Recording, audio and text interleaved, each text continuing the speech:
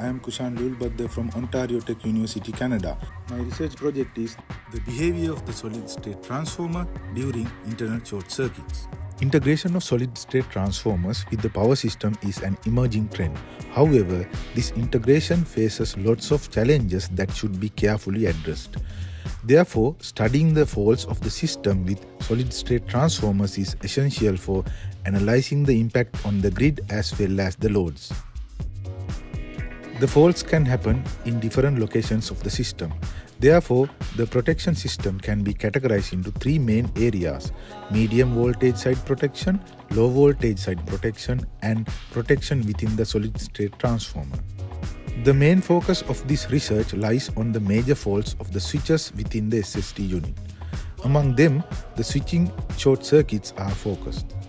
The research study is simulated with MATLAB Simulink software by analyzing the current and voltage waveforms in different fault conditions. The faults can happen before the SST within the medium voltage side. The solid state transformer is made of several cascaded H bridges connected to dual active bridge converters. DC output of the dual active bridges are parallel to create a low voltage bus to feed the different types of loads. Several short circuit fault cases were simulated and analyzed inside the cascaded H-bridge units and the dual active bridge units in this research. Among them, I would like to highlight two cases as follows. In the first case, multiple H-bridge unit failure within a single phase has been studied. After the fault, the grid current has increased to a higher value and become unstable.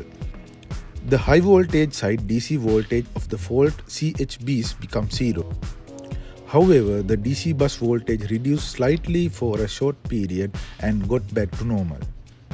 In the second case, multiple dual active bridge unit failures within a single phase have been studied. The grid current is rapidly increased and become unstable the output DC voltage of the CHB units that are connected to faulty DAB is reduced to zero. The low voltage DC bus shows a slight deviation and become stable quickly due to the presence of the other healthy phases. From the simulation results, I have shown that most of the short circuits of the switches have not much impact on the DC output. However, the remaining switches will face voltage stress.